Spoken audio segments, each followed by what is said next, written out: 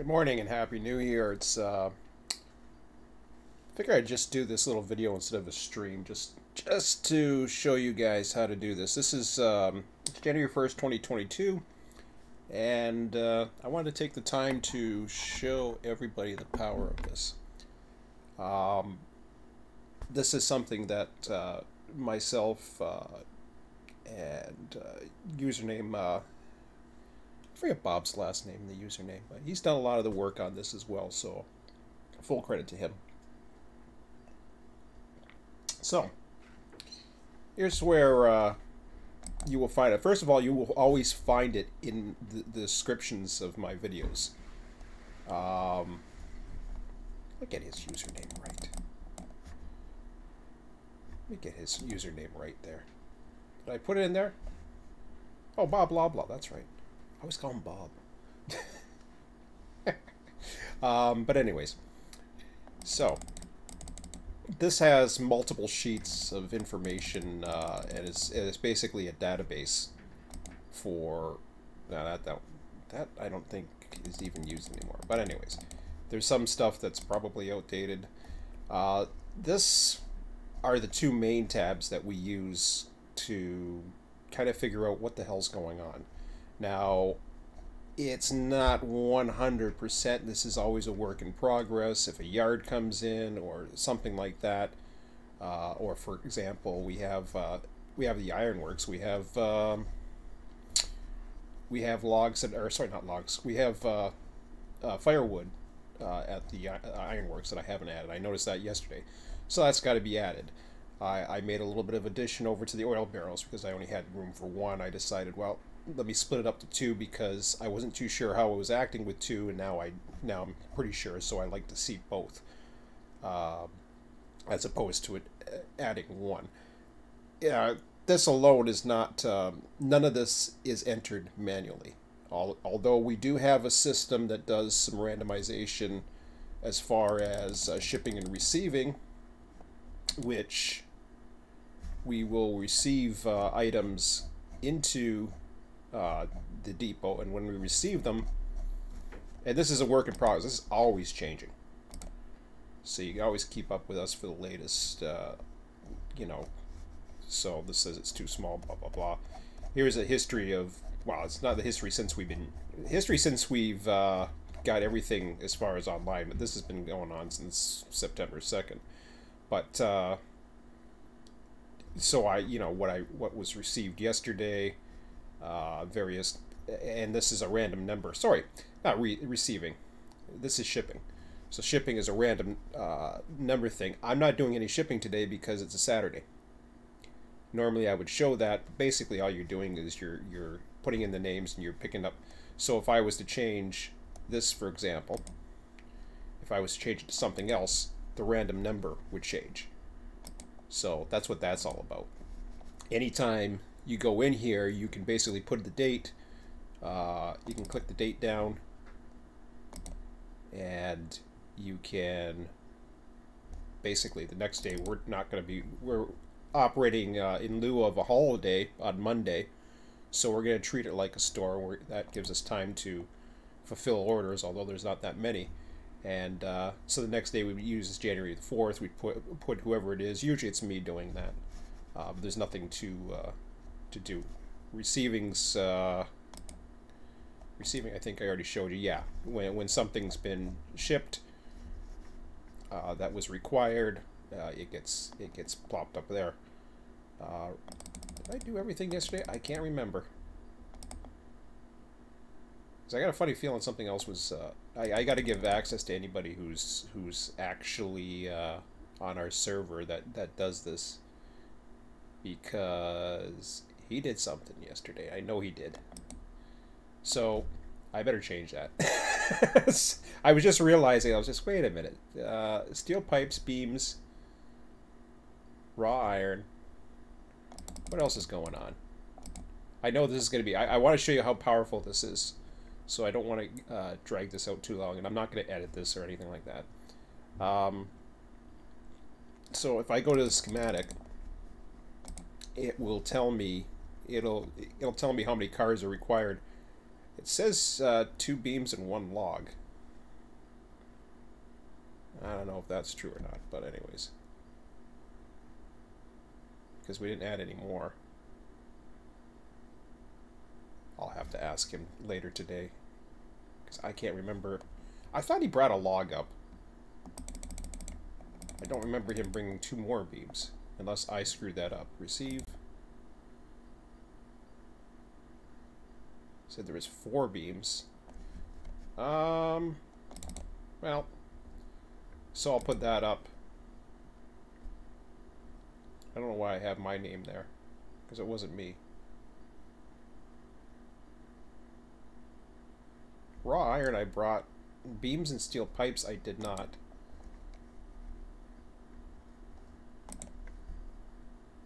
And I know he brought a log up, but I'm just going to assume he did the, the, the beams.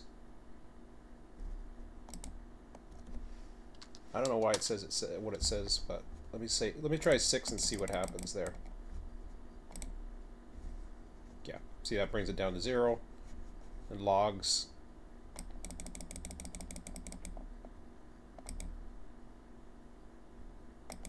So if I go back to receive, and we got a lot of tabs. We're gonna start, I think, blanket out a few just to find them. Uh, we did. He did bring one log. I remember that.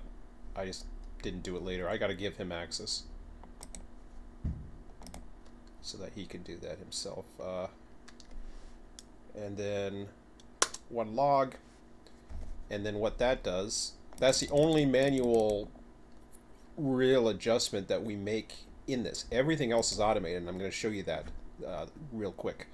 So this changes everything. This changes the reports that we run as far as what's needed where, um, we also have inventory levels that can be adjusted. So now you got cars, this we have an oversupply. I want to make a function so that if for some reason we have a bunch of supply that we're just trying to get rid of, um, the demand uh, becomes a lot higher. So it actually increases the demand. And I don't have to keep adjusting uh, the actual demand. But um, this is uh, Thomas whose uh, data that we originally inspired me to, to do this and our employee list. Um, there we go. So these here, um, these are all inventory uh, price levels. And what, what they are is they, they, they're basically the inventory that it calls for. This is another manual uh, adjustment that you can make. So what that does is it says we normally want to supply 36 lumber uh, and 46 oil barrels and all this other stuff. This this keeps the supply going. If for some reason it doesn't keep up, every now the randomness sometimes the randomness is good, sometimes it's not, but that's just the way randomness is. I multiply the inventory level, a percentage of the inventory level times the percentage of the inventory level. So what that does traditionally, that gives me a, um, I, I, I guess it would be like a, I don't know if it's a sine curve or whatever it is. So it'll give me more of a probability of lower levels within the inventory uh, uh, levels per price. However, it gives in the rarer occasion, it will give it a higher. So it's not an exact random number. It is, but it's a random number of a random number, which I've always used to make the probability lower the higher you go. And we still, like, I get calls for 30 lumber every now and then. I've had it, uh, which is fine, and that's cool. But those are really rare. So if you're going to a, um, you know, unless you're buying toilet paper off a shelf, um, you know, during a pandemic or whatever, um, chances are you're not going to take everything off the shelf and uh, you know you'll take what you need. So that's why I have that in there. But then there's some guy who wants to buy stock up on a lot of stuff, and he'll take everything off the shelf. So that's how that's the the ideas behind that. Let me get into the to the milks and cranny of all this though. So the key here, of course, well, there's there's a, there's a few things um, Minizwerg.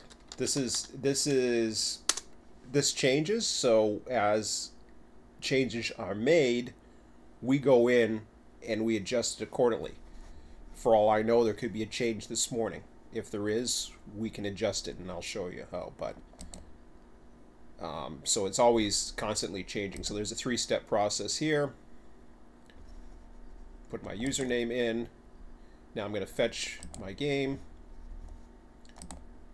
So this is just the same way if you were to go to make a map. Slot 2 is our is our save. We got some backups there. I haven't done a backup in a while. And then we'll upload.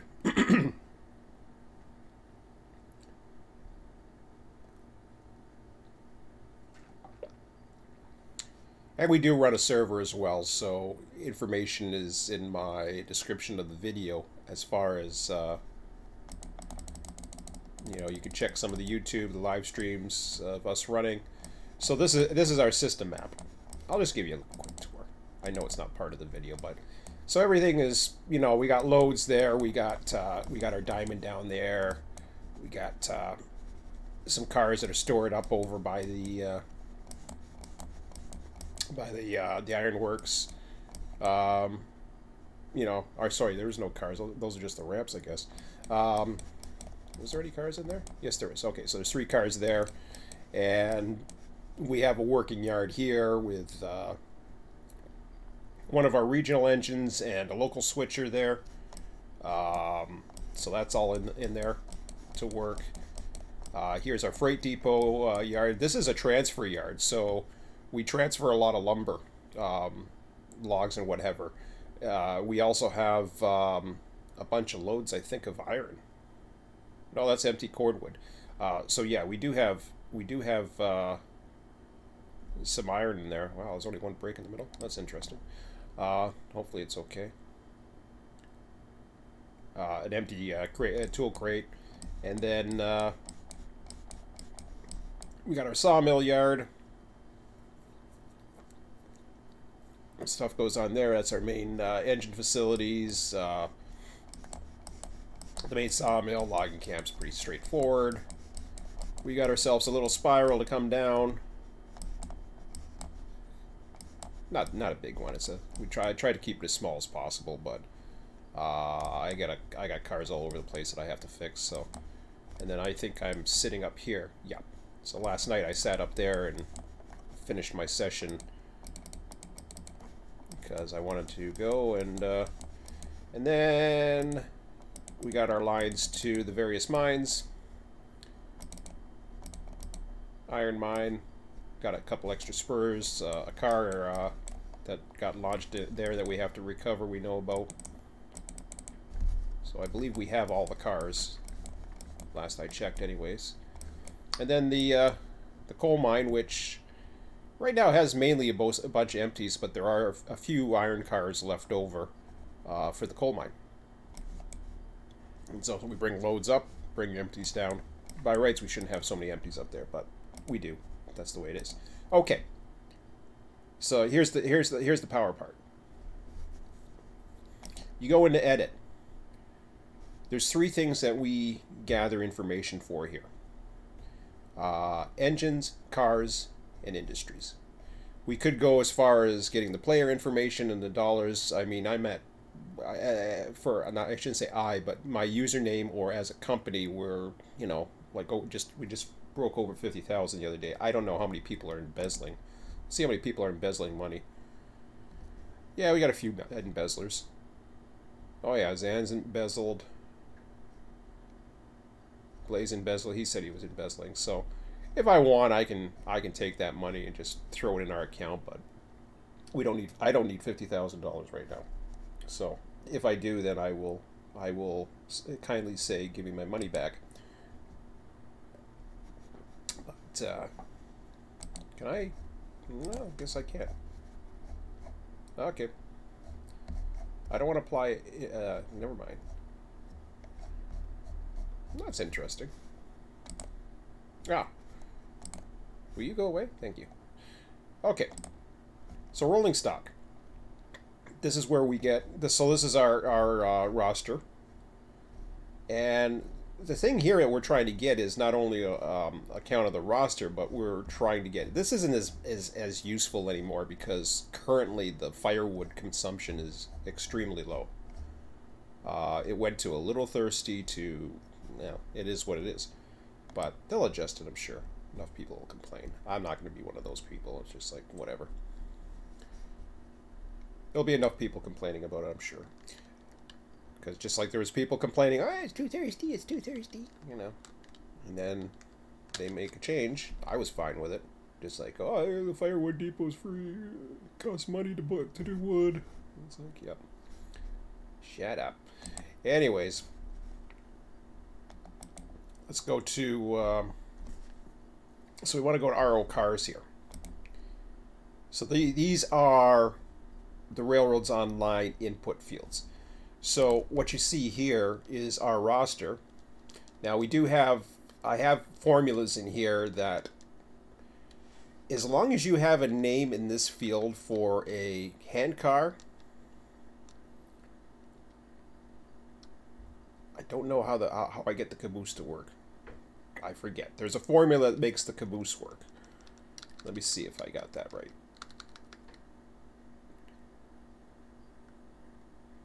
Okay, if it's a number. So, if E96 is a number. Oh, I see. So this is the one that I'm looking for. Ah, okay. I don't even have to put a name in there. It'll work. So I change that. So I'm looking to make sure that this field has a number.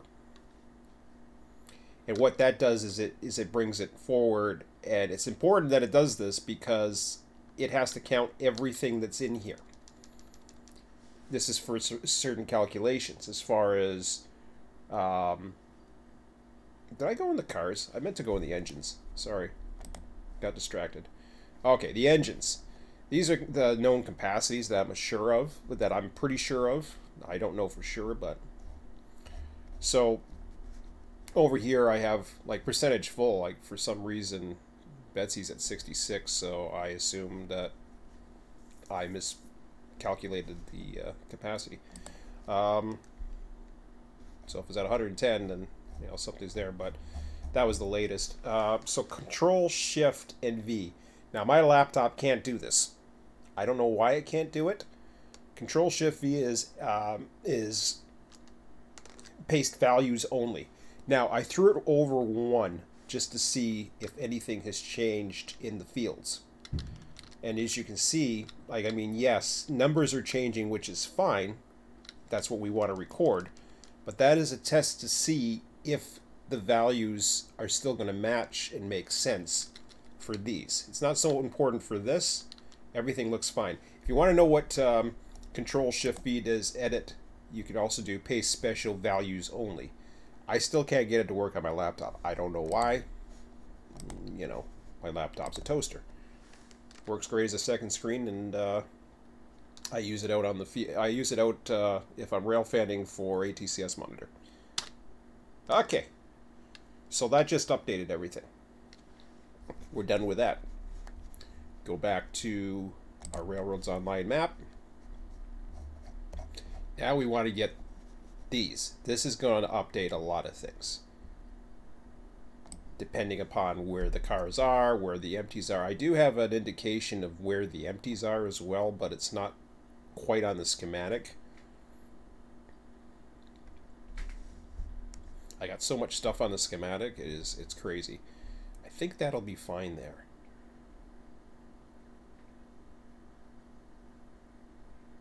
Yeah, because what happens is it doesn't recognize these two, and 0 gets moved over. So when I see that, I don't want to calculate it. So Control C, then we put that over here. Control Shift, nope, wrong one. Get in the cars. You always an undo button. I wish Railroads Online had an undo button, but that's okay. Uh, okay, so carts, I'm going to put it right here. I'm going to put it right beside it, just to see so as you can see, these cars are moving all over. One's at a logging camp, one's at the sawmill, blah, blah, blah. I'm only looking for, now the firewood will pop up once in a while, that's okay. That's just uh, my either the caboose or the uh, the hand cars that we have. I don't know who threw a hand car in there, who needed a third hand car, but somebody did. Whatever. Um, so yeah, that's all in. Wonderful.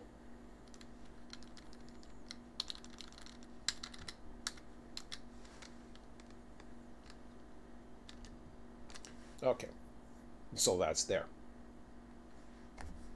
Now, we got that.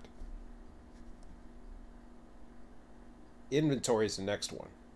And again, this, see how it, uh, it, it, it basically says what kind of car, what, how many low, how many pieces you are holding, etc. Because that's how it uh, stores the information and that's how we will calculate it. Uh, inventory these sums are all along here. Um, so Bob uh, originally worked on this one. This was the one he did. I, I ended up doing the cars and the engines uh, just to give, because I wanted more information. And I also um, added in the cars where the empties are that, per his request because he wanted to see where the empties were. So I was like, okay, yeah, I can do that. So we worked together. He's got, he, I, we, you know, borrow off of each other's ideas and, uh, but he's done a lot of ideas where he's learned off of other people. I've learned off other people, etc. So we don't mind sharing this. And I asked Bob about this before, and he said, "Yeah, you don't. He doesn't mind." So that's cool. Ah, ba ba ba. Industries, industries, industries. I'll get to it. Industries. Okay. So the industries. Now we've had to make changes. Hello. Do I? Okay, never mind. Okay, when that happens, it's, it's a pain in the ass. It goes to both of them for some stupid reason. There we go. You just got to grab it at the right spot. And if you don't, it's no big deal. Now, a change was made recently. There was a bunch of 100 values for these new... Uh, there was like 400 values. He changed it. He changed it back to where there were no 100 values because I don't know if that was part of his program or the data was showing it. But it didn't affect our data any because we were we're not even monitoring those, so that changed, which was fine. So, yeah, so we look down here. There is a bunch of them. I deleted them the other day because they were just they were just old echoes. So if you delete cars for whatever reason, you got to clean up the database. So this only works as you're adding things why anybody would delete something, you know. So you can see the uh, the logging camp is uh, the logging camp uh, changed its output for some reason. When it was saved, it was like 99 and hadn't finished. hadn't put hadn't finished putting. We don't even use that value, but it's part of the value that's stored. So whatever. Uh, oh, take a look down here. Make sure everything uh, matches up fields wise. And then we go down I gotta get caps locks off. I don't know why I had that on, but we go there. So, here's how, and this is how, that's the end of the power portion. I'm going to go back to the schematic. So what that's done is I've just updated all today's trains so that when we go on, we know where the trains are. We know what, what has to be run. You can either go by this way uh, if you want to know specific uh, block numbers and cars. Like for example, the logging camp was filled up yesterday. This this was requiring stuff yesterday. It don't require nothing right now. That one's just I don't know what that is. It's part of the reporting. So 100s are usually our log our, our logging cordwood.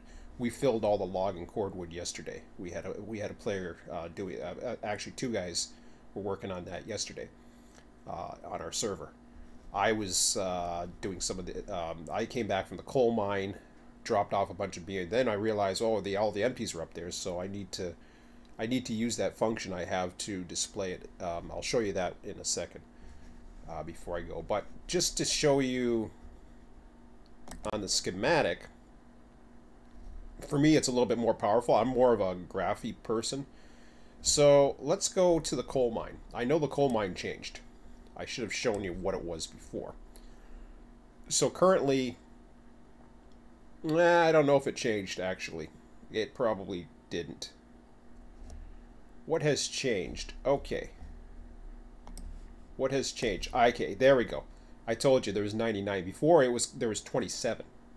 I think when it first came in, if you look at the screen grab, it was probably like uh, 27 or something. So that changed. But as far as you know, okay, so now they got full loads of the cord of cordwood that's sitting up there. That could be a train or it could be anything. This is the freight uh, depot yard. Uh, so we got beams. Uh, hmm. Oh yeah, these are the transfers that I talked about. So that's your transfer yard. Raw iron that changed yesterday. I'll show you where that is because I know I know we moved that in there. So I'll show you where that is. We'll go right to the freight depot. And I'll show you. And this is what's powerful because it tells you, you know, how many loads of what are where. So we added these yesterday. So these are the raw iron cars. So you got four, five, six, seven times three is 21. And da, da, da, da, da, da, what am I looking at? Oh, there's 20. It says it's 27. Maybe there's another one out there somewhere. Oh, yes, there was. There is additional ones. I know there was. Yeah. Yeah, there was two additional. We did. We have so much freaking raw iron. I don't know why we had so much raw iron, but we did. So. So that's that's the beauty of the change. Here's your 36. So we have these transfers are all for the south. Possibly we have too much. We probably don't need as much, but it's there just in case we need uh, to generate a lot. I think I think it would probably be better. I don't know. It's the right uh, values, but anyways, so that that's that's how we do. Now empties, you know, we want to look where the empties are. I have a schematic somewhere that does that. Good luck in finding it. I think it's in RO cars. I think it's off to the side. Yeah, it's hiding over here. So over here, it this is where it groups the it groups the sums, and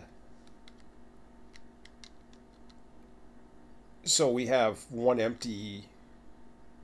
Yeah, it doesn't tell you where they are. It just says, okay, there's an empty somewhere out there. So there's one empty oil barrel.